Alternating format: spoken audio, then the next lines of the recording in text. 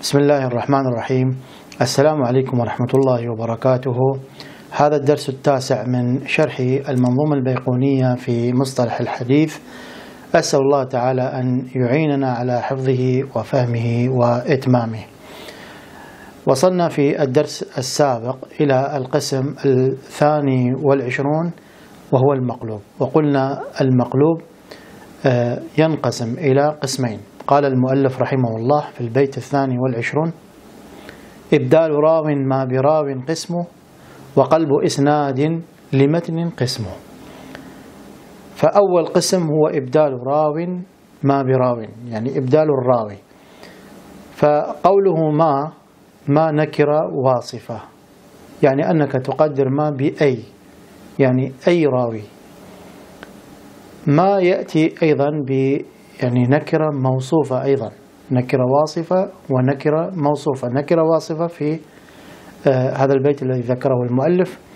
أما نكرة موصوفة مثل قوله تعالى إن الله نعم ما يعظكم. فالقسم الأول من أقسام المقلوب هو إبدال راوي. مثلا آه الحديث حدثني يعقوب عن يوسف. يعقوب هو التلميذ ويوسف هو الشيخ. فيبدل يعقوب بيوسف فيقول حدثني يوسف عن يعقوب. يبدل يوسف بيعقوب التلميذ بالشيخ. صار التلميذ مكان الشيخ والشيخ مكان التلميذ. هذا النوع من الإبدال ليس له غرض. يحصل مثلا بسبب الكبر الشيخوخة كيف نعرفه؟ نعرفه مثلا بالمقارنة مع الرواية في شبابه أو جاء الحديث من طريق آخر أوثق على خلاف ما عليه فمثال لو روى الحديث الصحيح رجلان واحد منهم أوثق من الثاني أحدهم أوثق والثاني يعني أقل ضبطا مثلا. فالذي هو ليس بواثق يروي الحديث بطريق آخر يقلب السند. فيعني يعني مثلا يبدل التلميذ بالشيخ. فعند المقارنة بالحديث مع الحديث الذي يرويه الأوثق فيتبين الحديث فيه قلب في الإسناد. مثال آخر مثلا راوي روى الحديث في شبابه على وجه ثم رواه الحديث في شيخوخته على وجه آخر وقلب الإسناد. أيضا من الطرق أيضا يمكن معرفة الحديث المقلوب بمعرفة عصر التلميذ والشيخ. بمعرفة عصر التلميذ والشيخ ممكن أن يعني تميز الحديث الإسناد المقلوب. المقلوب من قسم الحديث الضعيف لأنه يدل على عدم ضبط الراوي. هذا القسم الأول إبدال راو براو القسم الثاني قال وقلب إسناد لمتن. يعني يركب سند حديث على متن حديث آخر. يسمى هذا النوع قلب إسناد متن. الغالب يقع هذا النوع للاختبار. فمثال مثلا رجل روى حديثا عن زيد عن عمر عن خالد. هذا سند. عن زيد عن عمر عن خالد. وروى حديث آخر عن بكر عن سعد عن حاتم مثلا. فالسند الأول عن زيد عن عمر عن خالد يركبه على متن الحديث الثاني الذي سنده عن بكر عن سعد عن حاتم. فيجعل إسناد الحديث الأول على المتن الثاني وإسناد الحديث الثاني على المتن الأول. وهذا غالبا ما يقع للاختبار مثل ما صنع أهل بغداد لما قدم عليهم الإمام البخاري رحمه الله لما جاء إلى بغداد فقالوا أهل بغداد يعني أرادوا أن يختبروه فجاءوا له بمئة حديث فجمعوا له عشرة أشخاص من الحفاظ الأقوياء فجلسوا معه فقرأوا عليه الأحاديث كلها مقلوبة. السند على المتن. الحديث مقلوبة بالسند فقلبوا يعني السند بالمتن متن بالسند فبدأوا يقرؤون عليه. كلما يقرؤون عليه حديث الإمام البخاري رحمه الله يقول لا أعلم لا أعرفه. فبدأ الناس يشكون في حفظه. فحتى لما يعني انتهوا لما انتهوا بدأ يعيد الأحاديث المئة يعيد الحديث عليهم ويرجع السند إلى المتن الصحيح. كل متن إلى السند الصحيح.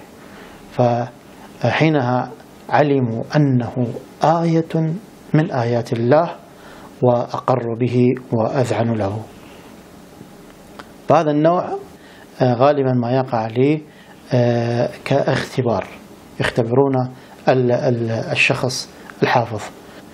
أيضا يحصل بعض الأحيان يكون بسبب الغش أو التدليس لكن بطريق آخر. فيتم تركيب سند الحديث الصحيح على الحديث الضعيف. قال الشيخ العثيمين هناك نوع آخر وهو قلب المتن. قلب المتن يعتني به الفقهاء لأنهم آه، يعني ينظرون إلى الدلالة. فقلب المتن يعتني به الفقهاء لأنه يتغير به الحكم.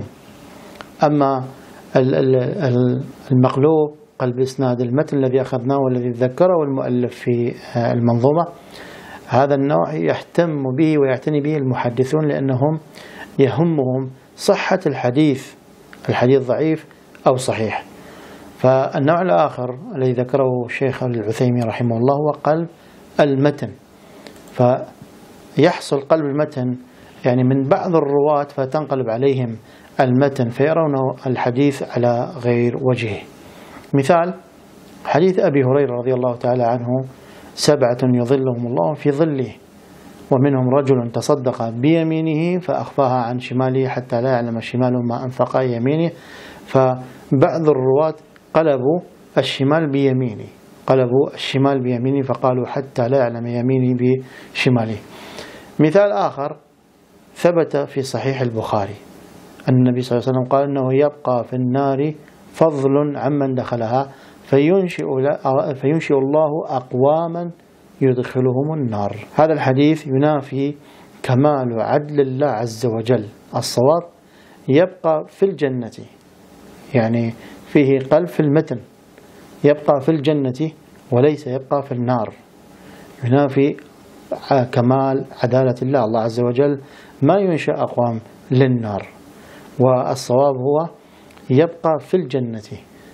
أيضا هذا الحديث ينافي الحديث الصحيح الذي يقول لا يزال يلقى في النار وهي تقول هل من مزيد؟ حتى يضع الله تعالى عليها قدمه فينزوي بعضها إلى بعض وتقول قط قط. مثال آخر مثال آخر حديث أبي هريرة آه، قال النبي صلى الله عليه وسلم إذا سجد أحدكم فلا يبرك كما يبرك البعير. كما يبرك البعير. وليضع يديه قبل ركبتيه. وليضع يديه قبل ركبتيه. قال الشيخ العثيمين. وليضع يديه قبل ركبتيه. هذا المقطع هذا فيه قلب هذا مقلوب. الصواب وليضع ركبتيه قبل يديه. لأنه هذا يناسب أول الحديث إذا سجد أحدكم فلا يبرك كما يبرك البعير. لو شاهدنا البعير كيف يجلس آه، فيضع أول شيء يديه على الأرض. يعني المقدمة تنزل أول شيء. فالإنسان ما يتشابه في البعير في أثناء السجود. آه، وإن ظن بعض العلماء أنهم قالوا أن الحديث ليس فيه قلب لأن البعير ركبتيه في يديه. هذا الكلام صحيح أن الركبة الركبة البعير في يديه ولكن آه قال الشيخ العثيمين الحديث ما قال آه على ما يبرك الحديث. قال كما يبرك الحديث. قال إذا سجد أحدكم فلا يبرك كما يبرك الحديث. فالكاف في اللغة العربية يفيد آه، للتشبيه. فالموضوع ما تتشابه بالبعير في السجود. فالوضع الطبيعي للسجود هو أول شيء أن ينزل أن ينزل الإنسان في الصلاة على قدميه. الركبة الأول على قدميه ثم اليد ثم الجبهة ثم الأنف. هذا هو الصواب. ثم قال المؤلف رحمه الله في البيت الثالث والعشرون والفرد ما قيدته بثقة أو جمع أو قصر على رواية. الفرد ما قيدته بثقة أو جمع أو قصر على رواية. ثلاث أقسام. هذا القسم هو الثالث والعشرون من آه، أقسام الحديث وهو الفرد. الفرد ينقسم إلى ثلاث أقسام. ما قيد بثقة وما قيد بالجمع وما قيد آه، برواية الفرد معناه ما رواه شخص واحد انفرد بالحديث راوي واحد. والفرد في الغالب هو من أنواع الضعيف بعضها يعني تلقى القبول بالصحيح خاصة بعد القرون الثلاثة لأنه الشيخ الواحد عنده 600 راوي. فإذا انفرد راوي واحد منهم فهذا يثير الشك. والحديث الفرد في عهد الصحابة أقل من آه، آه، الفرد في عهد التابعين. وفي عهد التابعين أقل من عهد التابع التابعين. فأول نوع هو ما قيد بثقة. يرويه ثقة لم يرويه غيره ولكن لا يخالف غيره. يرويه ثقة ما يرويه غيره ولا يخالف غيره. مثل حديث عمر بن الخطاب رضي الله تعالى عنه إنما الأعمال بالنيات. فهذا انفرد به ثقة عن ثقة في ثلاث طبقات رواه فلان عن فلان عن فلان. فهذا الحديث فردا وأيضا آه، غريبا. هذا النوع الأول ما قيد بثقة. النوع الثاني ما قيد بالجمع. الجمع يعني أهل بلد أهل قبيلة أهل قرية مثلا. فتفرد فلان شخص واحد برواية حديث عن أهل البلد عن أهل آه، مثلا أهل الشام مثلا. فهذا الفرد ليس فردا مطلقا هو فردا نسبيا نسبة إلى آه، أهل البلد. فمثلا آه، في البلد مثلا موجود ألف محدث. فإذا روى شخص واحد شخص واحد حديثا تفرد به عنهم فيقال تفرد فلان عن أهل شام مثلا. ما قيد بجمع أيضا له معنى آخر يعني تفرد تفرد أهل البلد عن فلان عن, عن هذا الشخص. في آه، رواية الحديث يعني. فيقال تفرد أهل الشام عن فلان. النوع الثالث ما قيد برواية. يعني لم يروي هذا الحديث بهذا المعنى إلا فلان. الحديث له طرق عديدة ومشهورة لكن بهذا المعنى ما يرويه إلا هذا الشخص فلان. هذا هو النوع الثالث آه، ما قيد برواية. فالفرد ينقسم إلى ثلاث أقسام ما قيد بثقة وهو ما يرويه الثقة لم يرويه غيره بهذا يعني لم يرويه غيره ولم يخالف غيره أيضا. مثل حديث عمر بن الخطاب رضي الله تعالى عنه حديث إنما الأعمال بالنيات. النوع الثاني ما قيد بجمع. الجمع قلنا يعني آه، يعني أهل بلد. الثالث ما قيد برواية يعني لم يرويه بهذا المعنى إلا هذا الشخص.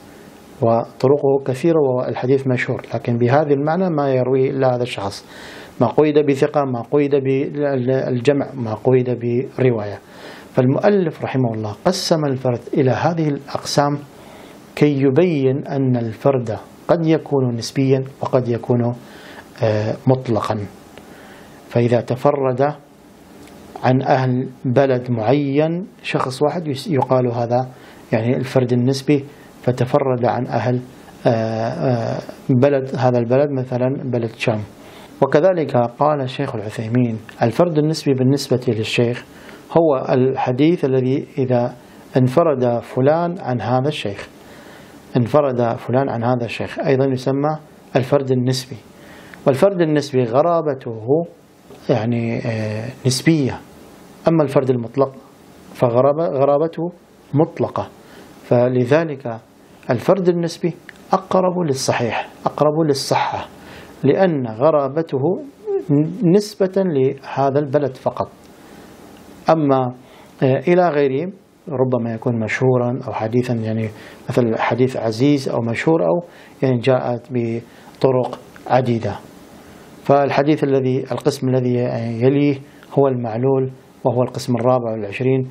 نأخذ بإذن الله تعالى في الدرس القادم وننهي درس اليوم بهذا القدر.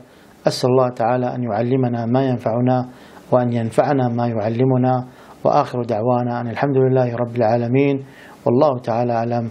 وصلى الله على نبينا وعلى آله وصحبه وسلم.